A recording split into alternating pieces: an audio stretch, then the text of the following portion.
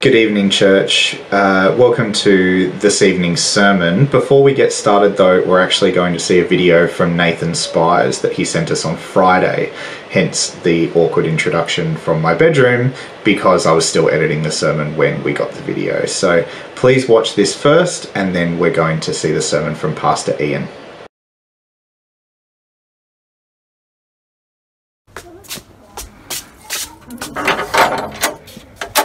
Buenos días. Ya, somos parte de la brigada de rastrillar. Está bien. Nos va a colaborar con unas preguntas, ¿ya? Está bien. ¿Cuántas familias viven en esta casa? Unita. Una. ¿Su nombre completo? Mi nombre completo, Nathan John Spies. ¿Cuántos integrantes son en su familia? Somos seis. De los seis menores de 5 años, Ninguno. mayores de 60, Ninguno. ¿Alguno de, sus, de su familia ha tenido algún síntoma durante las dos últimas semanas como pérdida del olfato, del gusto, fiebre? No. Nada, todos se encuentran sanitos. Sí, ¿No han estado en contacto con algún familiar con coronavirus positivo, nada? Bueno, bueno. Entonces, como todos se encuentran sanos, las únicas recomendaciones que le vamos a dejar es que sigan con las medidas de bioseguridad, ¿ya? Ya. Hay una aplicación en el celular, tienen que descargarlo, se llama yeah. Salud Cochabamba. Well, good afternoon, friends. That little video that you just saw was of a community COVID sweep. Right now in Bolivia, hundreds of teams of volunteers made up of a medical student who's a volunteer and then three military personnel have gone door to door, suburb by suburb, looking for COVID cases, people with COVID.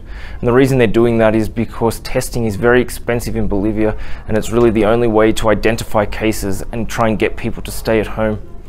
The sad truth is that Bolivia right now is being smashed by the coronavirus. The hospitals are full. There's very regularly deceased people in the street. Um, Bolivia's deaths are soaring, and the cemetery system is completely overloaded. Right now, Bolivia is in a really difficult spot. The Bolivian government has done everything they can, and since the middle of March, we have been in various iterations of complete lockdown or um, slightly flexibilized dynamic quarantines, is what they're called here. And so during this whole period from the 22nd of March on, we have had curfew from 6 pm at night.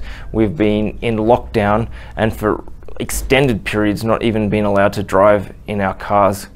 Entry into banks and supermarkets is controlled according to the um, numbers in our carnet, the last digit, to try and avoid um, concentrations of people. We've spent a lot of time queuing and carrying our shopping home uh, this lockdown has also had a very substantial effect on the lives and routines of our children. And so there's been no school since uh, the 12th of March. Our kids from the 12th of March up until yesterday, Sunday, have done all of their classes via Zoom. And so you can imagine four little kids trying to share the technology that we have in the home.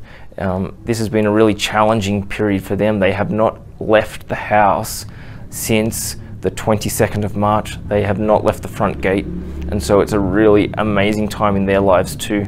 You might wonder how we keep children entertained locked up in their house, and so I thought I'd just share a few little videos with you so you might get a little bit of an insight into their um, reality.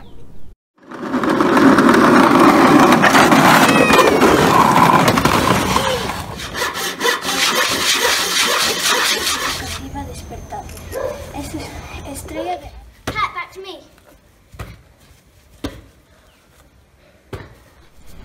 Of course, this coronavirus pandemic is not just affecting families, it also affects ministry. And right now, we any ministry that cannot be done via Zoom, any face-to-face ministry simply has stopped. And so church, Bible study, preaching meetings, pastors meetings, um, board meetings for Roots, all of this happens on Zoom. Right now, I'd like to present to you our new director, Pastor Fernando Fernandez. He was previously a medical doctor, now he's a pastor.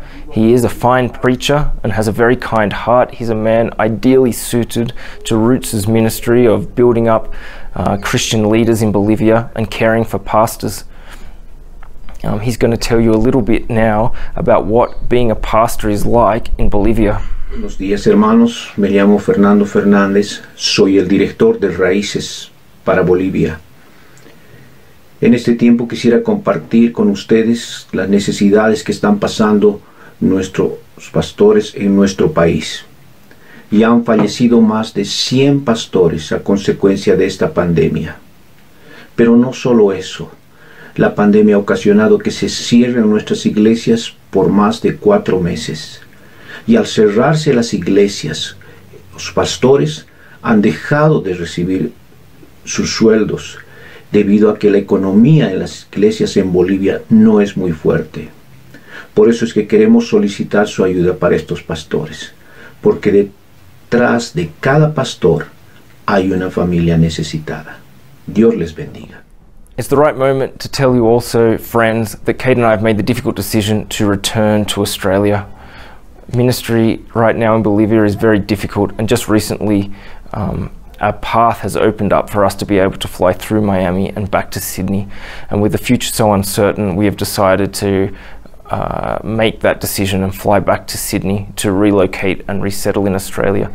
We leave roots in good hands with Pastor Fernando, and Kate and I are looking forward to starting a new chapter in our lives. However, it's with heavy hearts that we leave because we leave our friends.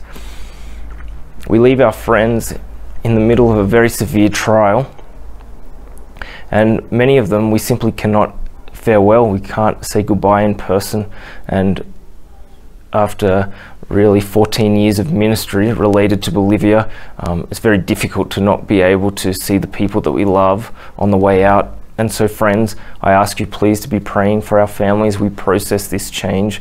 Um, it's difficult for our kids as well as for us. I pray, ask that you would pray for this terrible situation in Bolivia, for the suffering that's here. We pray for the Lord's mercy on Bolivia. And we ask that you would also pray for us as we begin a new chapter in our lives um, and pray for the Lord's leading as to what comes next. Thank you, friends, for listening. Thank you for your support. We appreciate it very much. Ciao, ciao.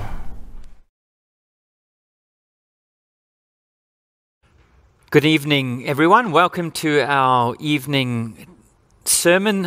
I trust that uh, you are all keeping well. And um, uh, again, we are hoping at some point to be able to get back together, but we're not quite there yet. Uh, we continue to talk about it and we continue to think of ways in which we can meet. So be patient.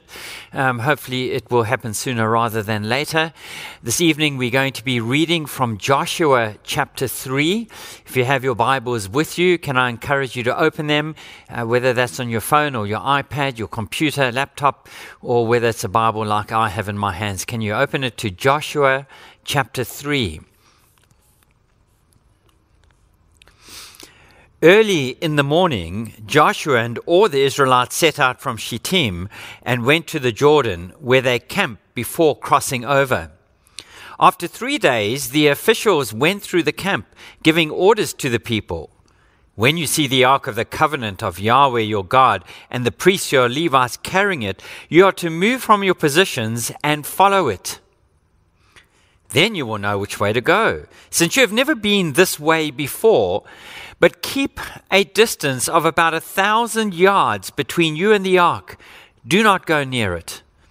Joshua told the people, Consecrate yourselves, for tomorrow Yahweh will do amazing things among you.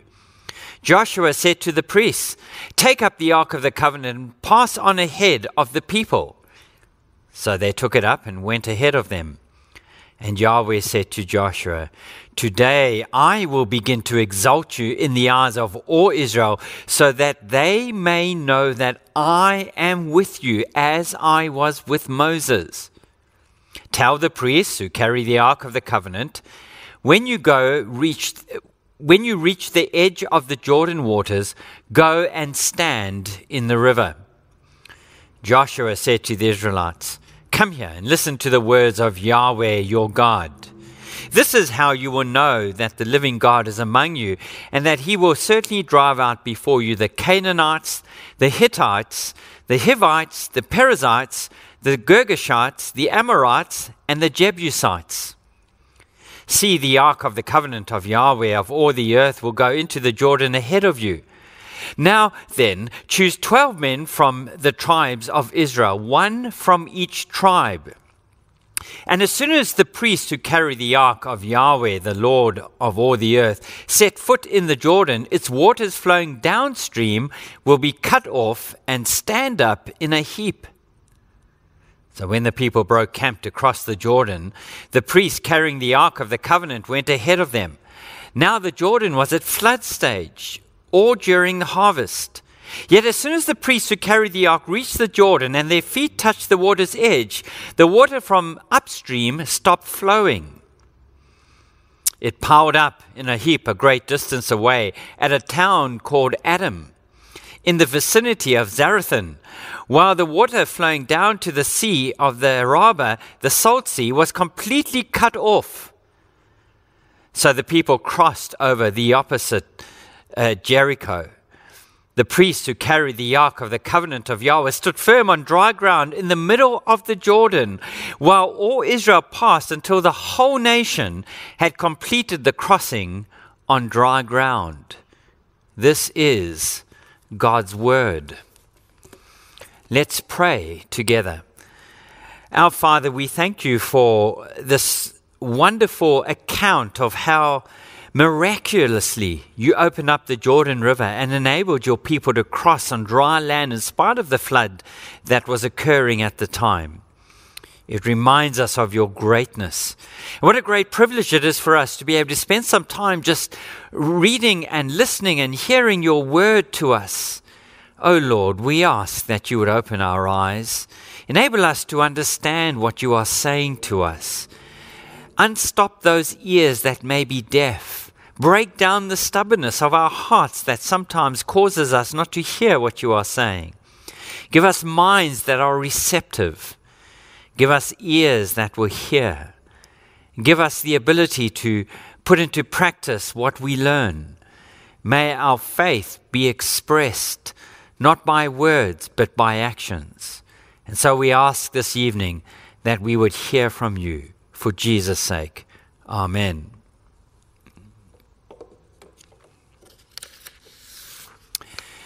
A poor heathen woman became a Christian and was remarkable for her simple faith. In accepting Christ, she took him literally at his word. Some months after her conversion, her little child fell sick. Its recovery was doubtful.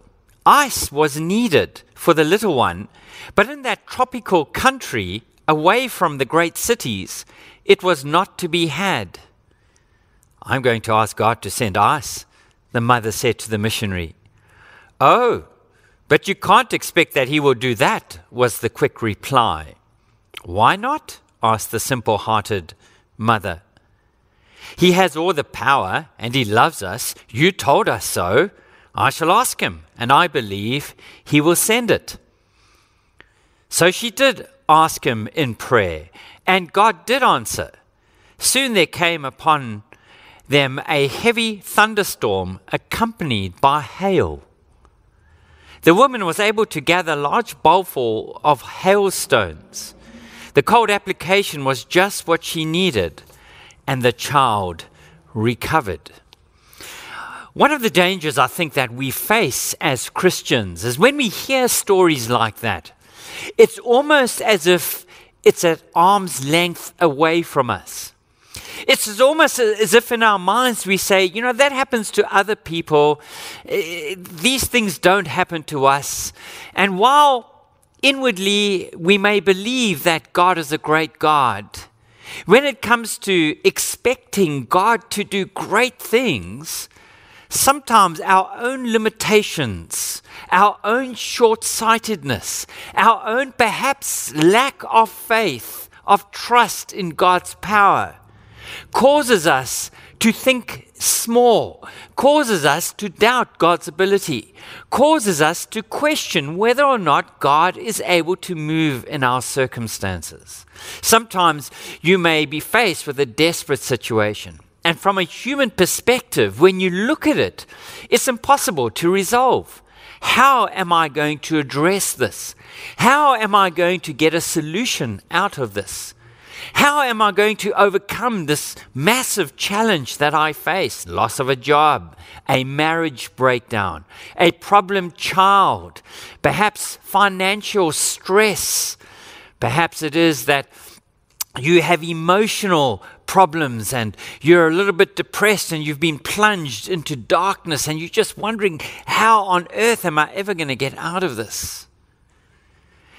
And we need to be reminded that we serve a great and glorious God, a God who is able to turn the impossible into the possible. And this story reminds us that, in spite of the insurmountable odds that faced Israel, God moved in their midst and God did what was humanly impossible. And the author wants to stress the impossibility of what lies in front of the Israelites. He wants them to understand that if they rely upon their own strength, and if they look to themselves to provide a solution on how they're going to get these millions of people across the Jordan River that is raging in flood, that they will fail again and again and again. But if they will but trust God, if they will put their confidence in Him, if they will expect Him to move and trust His word to them through Joshua, then God will move in a miraculous way and God will accomplish His purposes for them. For it falls within the purposes of God for Israel to cross that Jordan, to go into the land that God has promised them. And let me tell you, Christian, God is always faithful to his promises. God cannot break his promises. And where God has revealed promises in his word, you and I can hold on to those and we can rely upon them and we can trust that God will honor his promises for the sake of the Lord Jesus Christ. And so, can I encourage you? Whatever your situation might be. I don't know what's going on in all of your lives. I know what's going on in some of your lives, but not all of them. And sometimes there are things happening that are hidden from sight that people keep to themselves and they don't let anyone else know. Can I encourage you this evening to hear how this great God that we serve is able to move into your situation and able to accomplish what seems to you to be insurmountable odds. Firstly, I want you to notice the necessity of proper preparation. The necessity of proper preparation. Look at verses 1 through to 6. Verses 1 through to 6. Early in the morning, Joshua and all the Israelites set out from Shittim and went to the Jordan where they camped before crossing over. After three days, the officials went throughout the camp, giving orders for the people When you see the ark of the covenant of Yahweh your God, and the priests who are Levites carrying it, you are to move out from your positions and follow it. Then you will know which way to go, since you have never been this way before but keep a distance of about a thousand yards between you and the ark. Do not go near it. Joshua told the people, hear carefully now, consecrate yourselves, for tomorrow Yahweh will do amazing things among you. Joshua said to the priests, Take up the ark of the covenant and pass on ahead of the people. So they took up it up and went ahead of them since God is glorious, since God is great, since God is powerful, since God is holy, it is necessary for God's people to prepare themselves for God to move in their midst. And, and so God encourages them and commands them and tells them to get ready before He moves. And it's important that they remember it is God who will move. Hence, the ark plays a central role. If you remember and you know your Bible, and I'm sure all of you do, you know that the Ark of the Covenant is central to the life of Israel. In the Ark of the Covenant are the Ten Commandments. And that Ark of the Covenant symbolized God's presence. so that the, the ark travels before them because you will know that the pillar of fire is gone and the cloud is gone since they've reached uh, the point at which they're going to enter into the land. And so now they are going to be guided by the ark as a visible symbol, a visible sign, if you like, of God's presence with them. A reminder that as they cross over the Jordan into the promised land, it is by God's divine power that they enter into the land. Now thou uh, to remain a certain distance from the ark, and there are probably two reasons for that. The first reason is that the, if they got too close to the ark, they would be obscured as to the path they needed to follow, and and so they needed to remain a certain uh, amount of distance back from the ark so they could follow carefully. Remember that the people would have been spread out and in a long line behind the ark. The second reason that they are to remain behind the ark is because God is holy. And because God is holy, they need to understand that they shouldn't get too close to the ark. I mean, we know what happens when the ark is not handled correctly. When David is bringing the ark back that has been captured by the Philistines and is residing in one of their cities, and the priests bring it back, you remember what happens on the way back. One of the oxen uh, with the ark stumble, and, and one of the priests reaches out to touch the ark, and God strikes that priest dead. And David is so scared and so fearful as a result of that that he just leaves it as is.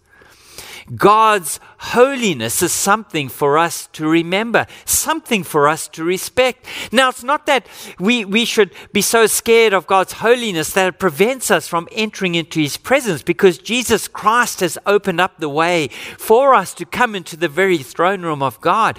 Jesus has made the path open to us. Hence, the temple curtain is torn in two, symbolizing that once uh, people who could only go into the holy, holy, the high priest is now open to everyone. So we have access into God's presence. Nevertheless, that doesn't mean we simply treat God's holiness as ordinary. We treat God as ordinary. We must remember that God's holiness means that no one can see Him and live.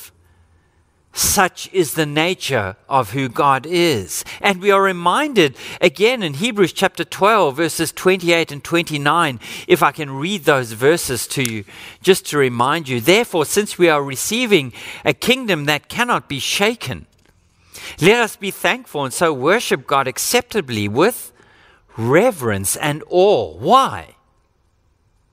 Because our God is a consuming fire.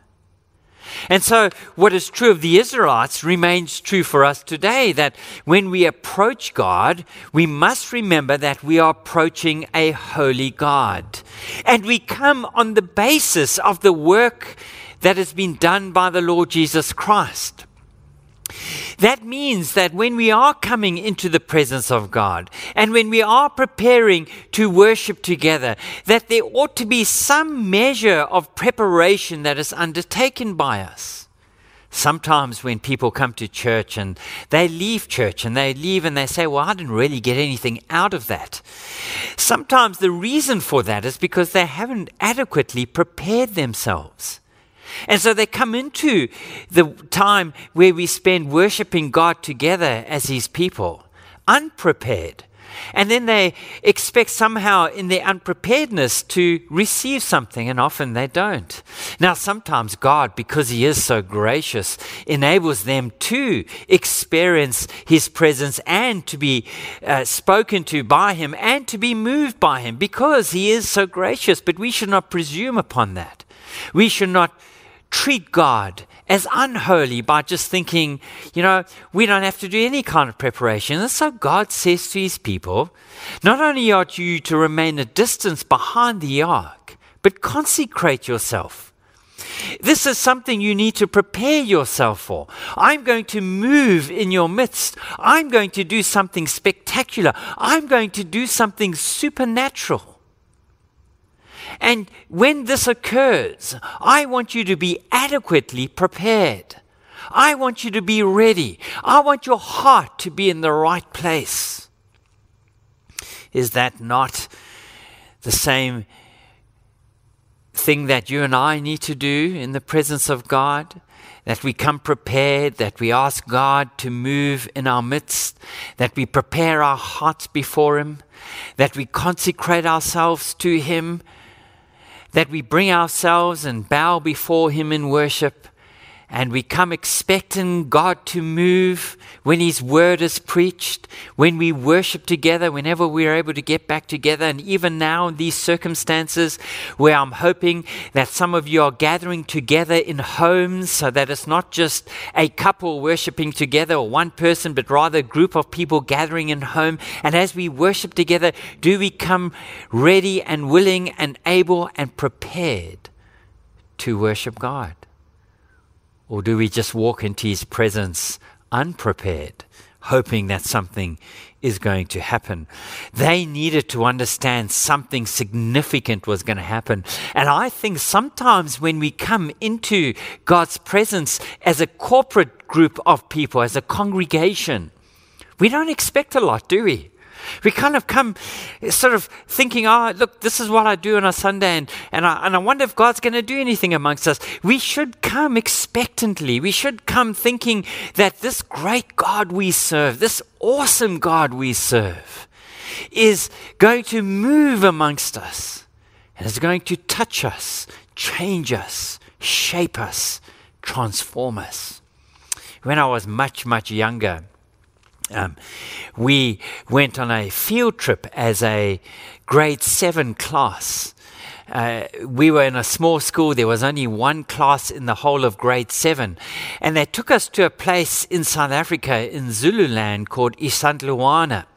And at Isandlwana, there was a, a battle that took place. It was on top of a hill. There was a British garrison uh, that was stationed there, uh, well, near there at Rorke's Drift.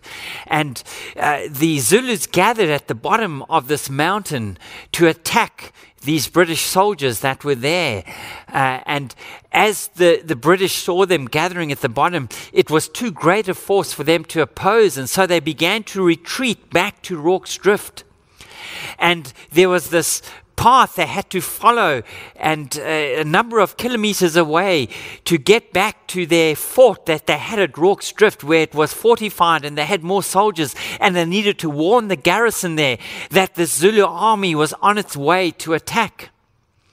And as they fled, they were pursued by these Zulu warriors uh, down this uh, path to Rorke's Drift. I can't remember how many kilometers it was. And as a class, we were told the stories. We sat atop that hill.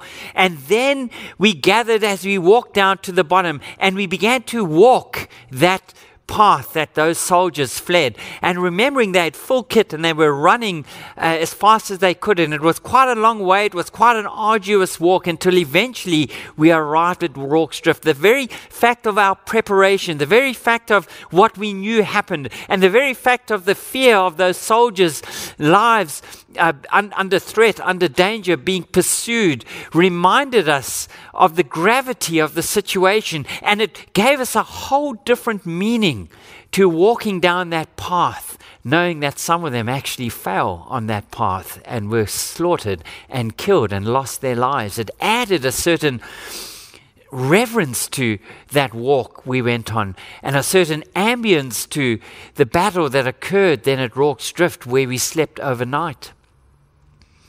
And so when we come into God's presence, it should be even much greater than that, realizing that this is the God of all glory. This is the King of kings. We coming into his chambers. We coming into his throne room. We coming to worship not just a local deity. We coming to worship the God who is king over all the world. And that ought to inspire us to prepare ourselves, to make sure that we're in the right place spiritually, that our hearts are ready and open to receive from God. And we should expect great things. Secondly, I want you to notice the necessity of trusting God. If it's proper preparation, they needed to trust God, verses 7 through to 13. Let me read those verses, verses 7 through to 13. And Yahweh said to Joshua, Today I will begin to exalt you in the eyes of all Israel, so that they may know that I am with you as I was with Moses. Tell the priests who carry the ark of the covenant, when you reach the edge of the Jordan waters, go and stand in the river. Joshua said to the Israelites, Come here and listen to the words of Yahweh your God. This is how you will know that the living God is among you, that he will certainly drive out before you the Canaanites and all the other ites. See, the ark of the covenant of Yahweh of all the earth will go into the Jordan ahead of you. Now then, choose 12 men from each of the tribes of Israel, one from each tribe. And as soon as the priests who carry the ark of the Yahweh, the Lord of all the earth, set foot in the Jordan, the waters flowing downstream will be cut off and stand up in a heap. Now we mustn't miss the miracle of this. It's very easy for us to miss the miracle. First, notice how, how Yahweh says he will exalt Joshua in their sight. In other words, it's, it's a reminder that Joshua is God's leader. Joshua is God's appointment. It's not that Joshua accomplishes great things. No, it's that God, through Joshua, accomplishes great things. And God has called Joshua to be his spokesman, to be his leader. And God will use Joshua in a powerful way because Joshua has been obedient to the call of God. Joshua has heard the voice of God. And Joshua has followed in the footsteps of Moses. And in spite of this awesome task that he has, in spite of this incredible weight of responsibility that falls upon his shoulders in leading the people now into the promised land that God has promised on oath to their forefathers, Joshua takes up the reins and confidently he goes ahead because he trusts in Yahweh. Now, can I say to you, my dear friend, when God calls you to do something, God will not lead you where His grace will not sustain you. Hear that very carefully. When God asks you to do something in obedience to Him, if God calls you, and He will call some of you to be a pastor, then God will equip you to be a pastor. Don't allow all the barriers that you can think of to prevent you to res- from responding to God's call. If God calls you to be a missionary and you need to submit in obedience and go to some faraway land and you've got all kinds of fears that are preventing you from doing that, know that if God lays that upon your heart and you are sure that's what God wants you to do, God will equip you. Know that if God calls you to serve Him in a ministry, in a church, and this is God's hand upon you, and God is moving and convicting you to get involved in that role, in youth, in young adults, in a leading a home group, whatever the case may be, know this that God will strengthen you. God will enable you. It is not your weaknesses that God is so concerned about. In fact, it is weak people that God raises up and uses. God delights in weaknesses. Your weaknesses are no barrier to God. God will demonstrate His strength in your weaknesses. You will be able to do things that on your own strength you would never be able to do because God's grace will so descend upon you that He will be the one working in and through you to accomplish His purposes to that which He has called you to do. So, can I encourage you? If you feel God tapping you on the shoulder, and saying to my dear friend, I want you to be a pastor. I want you to help out at youth. I want you to be involved in playgroup. I want you to go to a faraway land. I want you to take that job up, even though it seems impossible for you, because at that workplace, I'm going to use you in an amazing and powerful way. Then trust in Yahweh. Put your faith and your confidence in Him. It's not your abilities that matter, it's God's ability that matters. And God delights, they hear this, God delights to take weak people, to raise them up, and to thrust them out. Because then, when He accomplishes things through them, He gets the glory and He gets the honor. Notice too that the possession of the land is a reaffirmation of God's promises. God has said to this uh, forefathers he would provide for them a land that languished in Egypt for 400 years. Now the promise is about to happen. Now it's about to be realized. Now this generation, this new generation is going to cross into the land and they are going to see firsthand that God is always faithful to his promises. God never goes back on his word. God's word is sure, it is true, it can be relied upon. That's why it's authoritative. You can trust in God's word. You can know that when God has said something, He is re- uh, reliable, and you can put your faith in Him and in those promises that are revealed in God's word. Notice the process that God, the logical process that God shows them. He says, when you cross over the Jordan, they will experience this incredible miracle, and you go into the land. You don't have to worry about all the ites that are in the land the Hittites, the Hivites, the Jebusites, and all the other ones. You don't have to worry about them. In fact, you see, that parting of that Jordan River would provide the encouragement and would cause the courage to well up within the Israelites to know that if God can part the Jordan, then God can defeat those people in the land as powerful as they may seem and as well established as they may seem. It would put courage in them. And it is true when we look back on how God has moved in the past and how God has raised up so many different people and so many weak people and thrust them out in ministry that we can take courage from that. And as we look back to our own lives and see what God has accomplished in them, that we can go back and remind ourselves that God is more than capable of using us in His work and strengthening us to His work. The God the Christian serves is a miracle working God. He is a powerful God. We should never underestimate him. We should never reduce him. We should never put him in a box. We should never put him in a straitjacket and somehow think that God can only move according to our sometimes very narrow view of God. God is able to do what we through human eyes look at as absolutely impossible because that's the kind of God that He is. If only you and I could have the eyes of faith that would be look beyond what we see and look into the realm of the unknown, and that we would be prepared to take the path less traveled. This is a new way that God is going to show them, that we would trust God for the path that He lays out before us. It may be an unknown path, it may be a new path, it may be a scary path, there may be obstacles along along the path that God lays out before us. But if it is God leading us down that path, then you can go with absolute confidence, absolute assurance, knowing that God will equip you to do whatever it is and overcome whatever obstacle lies in the way down the path that He is leading you. What a wonderful God we serve. Don't minimize your expectations and your view of the greatness of God.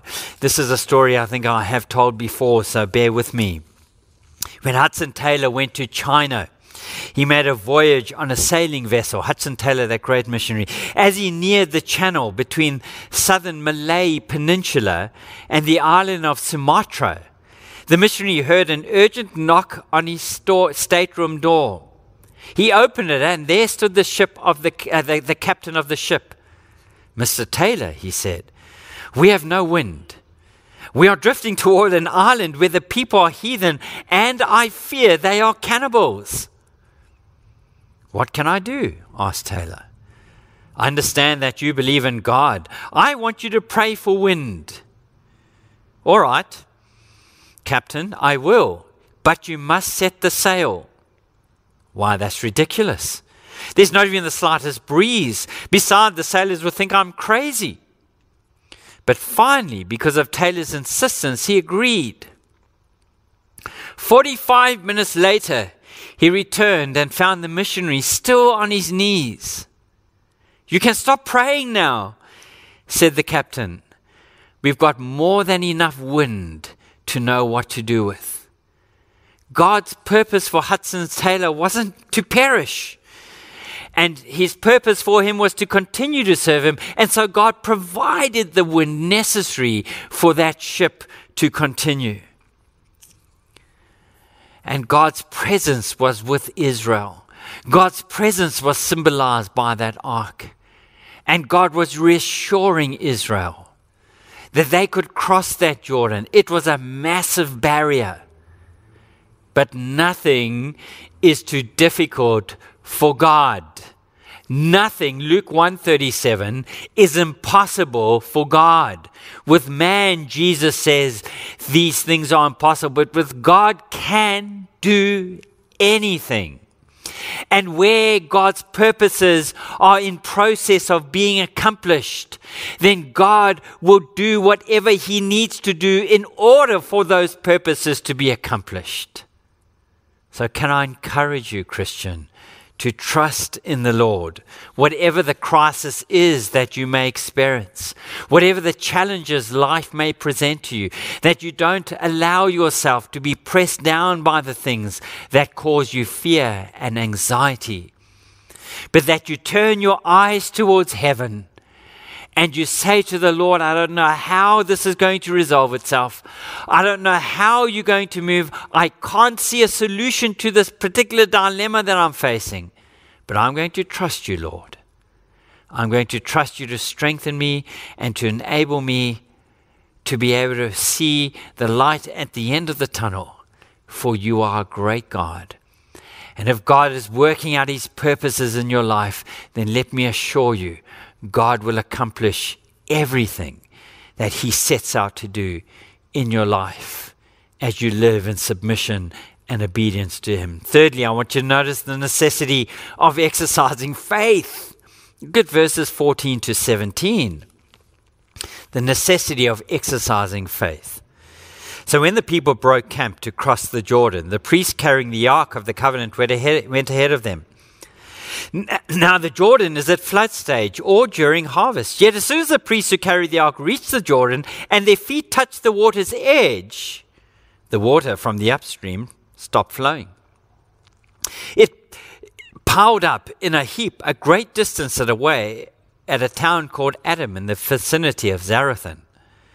While the water flowing to the sea of the Arabah, the salt sea, was completely cut off, so the people crossed over the opposite side, opposite Jericho, rather. The priests who carried the Ark of the Covenant of Yahweh stood on firm on dry ground in the middle of the Jordan while all Israel passed until the whole nation had completed crossing on dry ground. Now, I want you to, to see the sequence here. It's really important that we get this. Faith requires a response. You can't just sit back and say, I believe, I believe, and not do anything about it. You, you, see, it's not enough just to have a, a head knowledge and allow all the, the facts of Scripture to penetrate into your head and, and to uh, articulate that you do have faith without your faith actually being worked out. This miracle that is about to happen, and it is a great miracle, requires that the priests get their feet wet. Now, it's almost at an afterthought that the author mentions and says, by the way, the Jordan River is in flood. It's, it's, it's almost like an addendum. It's almost as if he, he almost forgot to put it in there. Now, I want to quote one of the commentators because I think he puts this in perspective. Listen to what he says. The actual Jordan Valley between the Sea of Galilee and the Dead Sea varies in breadth from 5 to 24 kilometers. Within this valley is the river's floodplain, which is 180 meters to 1.6 kilometers wide. The floodplain was packed with tangled bush and jungle growth. Hence, it was not the river so much as the jungle that was difficult to cross the fords of the Jordan as much ways through the jungle as through the river. Then there was the river channel itself if similar to the 19th century. Conditions was from 90 to 100 feet broad with a depth of about a meter and a half. Some fords to as much as three to four meters. The current was strong because of the drop of elevation, a drop of about um, 64 kilometers near the Sea of Galilee, an average of about 16 kilometers on average. Now, when you think about that, that's a huge, huge obstacle. And when God causes the, the Jordan River to pile up at Adam opposite Jericho, it's a long, long way away to where the Israelites probably crossed the Jordan. And so now God has created this massive uh, uh, channel that's dry so that these people who are gathered there don't just cross in single file, but cross in a, in a massive breadth through the Jordan River. And he keeps it, in spite of flood, piled up there. But it only happens when the priests put their feet in the water. Faith requires a response. It requires action. It's not enough just to say, I believe, and not do anything about your belief. You see, it's the same, exactly the same principle for those who don't know Christ. They are in the same position. It's not enough to say, well, I do actually believe that there is a God and have some kind of concept about who that God is. No, it's not enough even to say, I believe in God. Because James says, even the demons believe in God and they shudder. They are afraid in their belief in God. No, faith means I take my belief and I put it into action.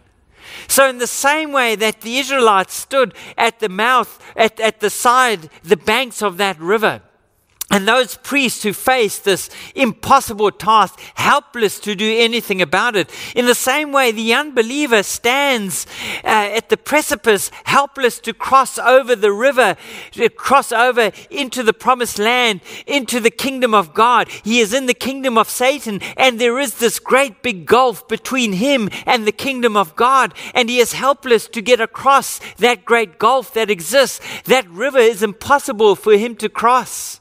And the only way the unbeliever is able to get across to the other side is to trust in the Lord Jesus Christ, who becomes the bridge that enables them to get from the land of Satan, the kingdom of Satan, into the kingdom of the Lord Jesus Christ. And the only way they can do that is as Christ reaches out to them in grace and mercy, and as Jesus, who died on the cross to pay the penalty for their sin and to rescue them from their helpless position of being bound by Satan and bound by their sin. Only when they trust in the Lord Jesus Christ and they take that step of faith by committing themselves to Him, by turning to Him in faith, only then are they able to access the bridge that crosses that river. And that bridge is the Lord Jesus Christ. It means coming to Him, it means submitting to Him, it means casting yourself at His feet, it means trusting in His work alone on the cross